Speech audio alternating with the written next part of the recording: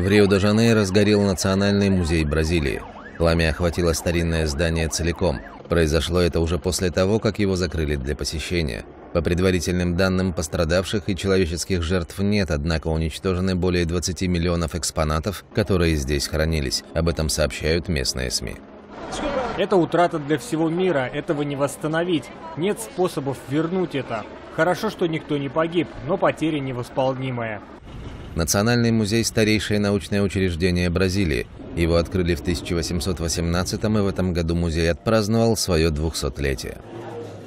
Предметы древней египетской культуры, старинная индейская посуда, кости динозавра – вот лишь малая талика того, что погибло в огне. В музее также хранился самый древний скелет человека, обнаруженный в Америке. Ему было 12 тысяч лет. Мы работали здесь в рамках образовательной программы с разными группами со всего мира. Это утрата, нет слов.